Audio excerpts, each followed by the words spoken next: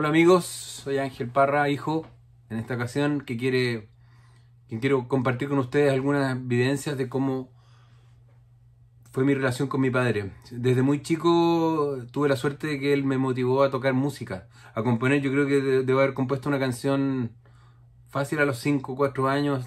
Ya estaba relacionado con la música íntimamente. Hay fotos mías aplaudiendo al lado de él, tocando la guitarra y yo, yo, yo sé que yo componía canciones gracias a su incentivo. Eh, participaba en ensayos con el grupo Los Curacas, donde él me pasaba una percusión, qué sé yo.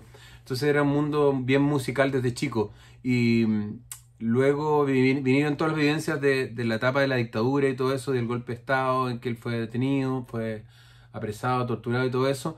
Y bueno, fue un momento también de quiebre en la familia, en que se separaron nuestros padres y lo recuerdo con mucho dolor, pero cada vez que lo íbamos a ver a Europa, eh, uno reconstruía esa imagen de padre que tenía del pasado.